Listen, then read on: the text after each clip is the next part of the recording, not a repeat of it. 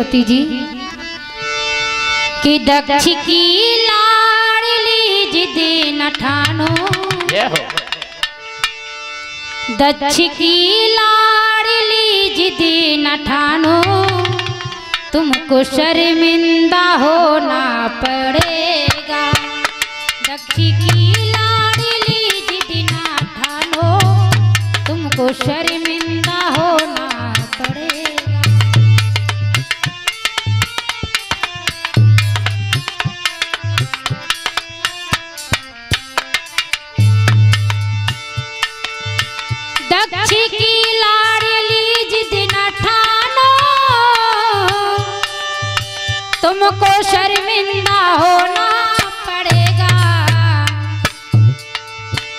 बुन बुलाए पिता घर ना जाओ।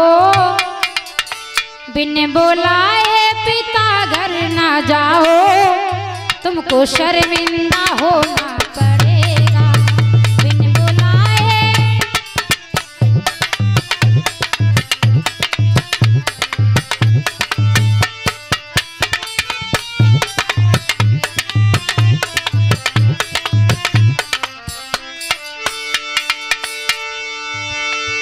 कहा, भोले बाबा ने, अगर तुम्हारे पिताजी तुम्हें थोड़ा सा समझते तो तुम्हें ज़रूर बुलाते.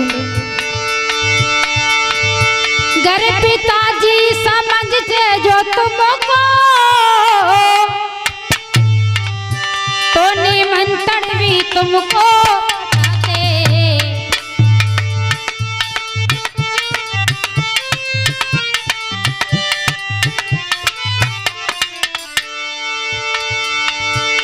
समझते पिताजी जो तुमको। तो खुशी से निमंत्रण उठाते और जब तुम वहाँ जाओगी बिन बुलाए सती जी जब मिलेगी तुम्हें घोरी नफरत। जब मिलेगी तुम्हें घोरी नफरत, दर्द दिल में उठाना पड़ेगा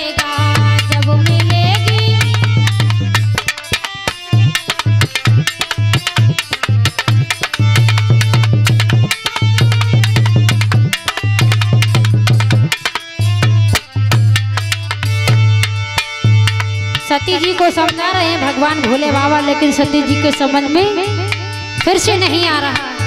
फिर से वही गलती करने जा रही हो।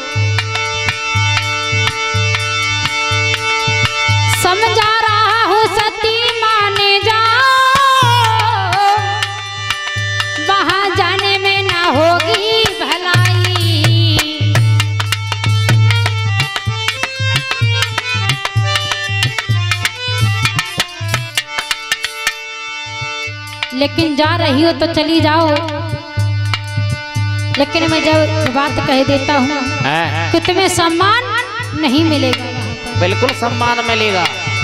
जा रही हो चली जाओ लेकिन जा रही हो चली जाओ लेकिन वहाँ से वापस ना आना।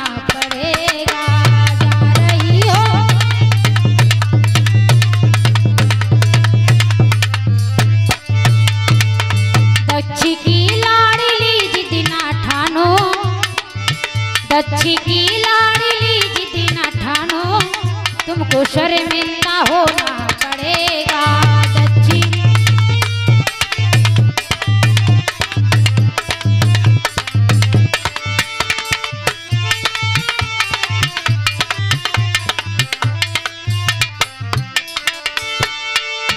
दक्ष की लाडली जिद न ठानो तुमको शर्मिंदा होना पड़ेगा।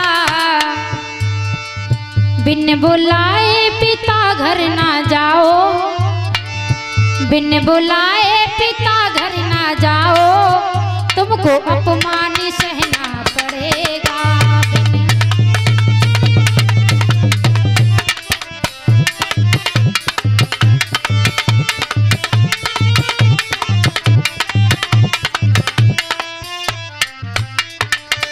भोले बाबा ने समझाया सती जी को, लेकिन उनकी समझ में नहीं आया।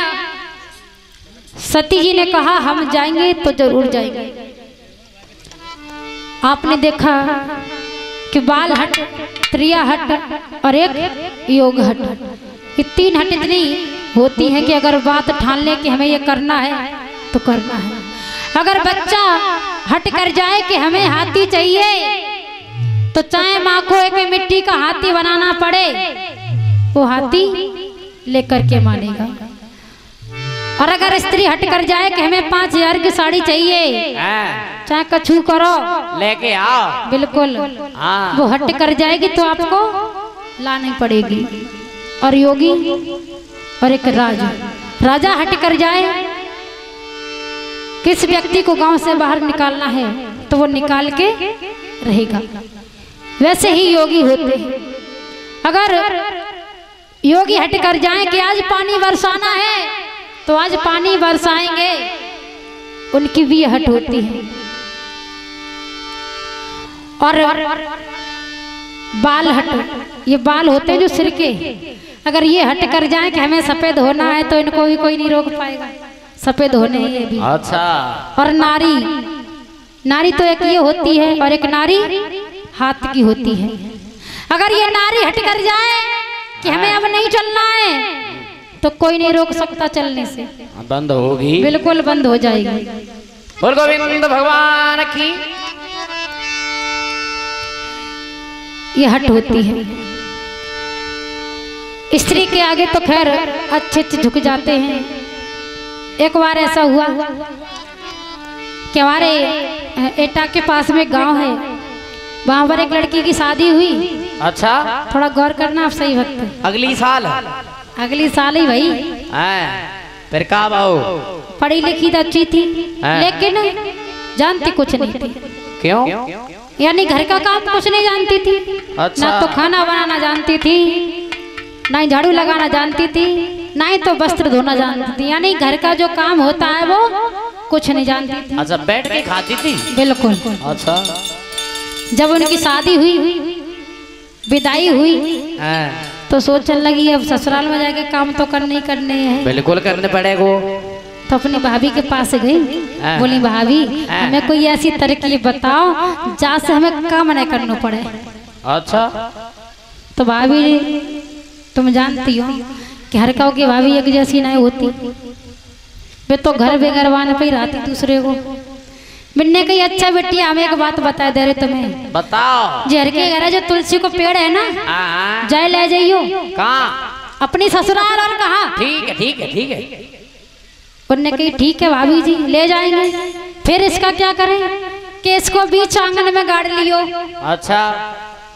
कि फिर भाभी तो उन्होंने कहा जब आँगन में गाड़ोगी और जब आप सुबह उठोगी हाँ, तो अपनी सास से पूछ लियो मैया हम पूजा कर लियो करें?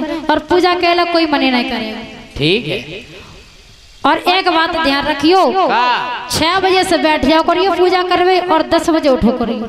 सोई काम ने बच जाया करे भाभी बोली तब तक काम खत्म हो जाओ करे तो सासू करिए ले करे। ठीक है ठीक है। बिन जय काम करो। ससुराल गई तो पेड़ लेके गई तुलसी को।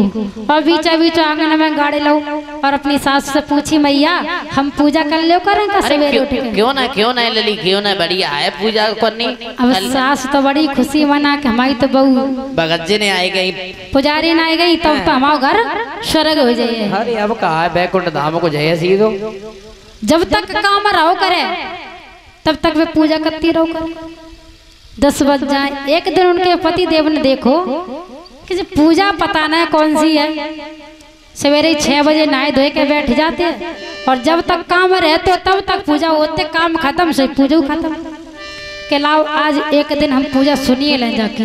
और का? एक दिन पूजा सुनिए लें। हाँ। सो पूजा सुनने के लिए बैठे देखने के लिए कि कौन सी पूजा होते कौन से श्लोक पढ़े जाते। जो गड़बड़ पुराण कोई से लोग हुए।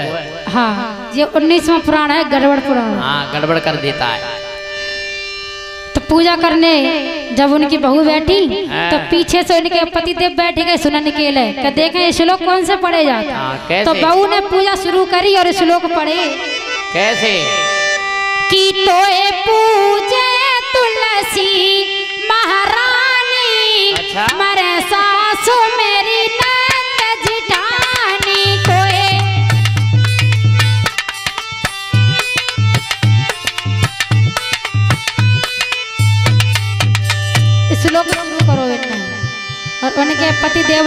सुनी कि तो हमारे पूरे परिवार को मानना चाहती हैं।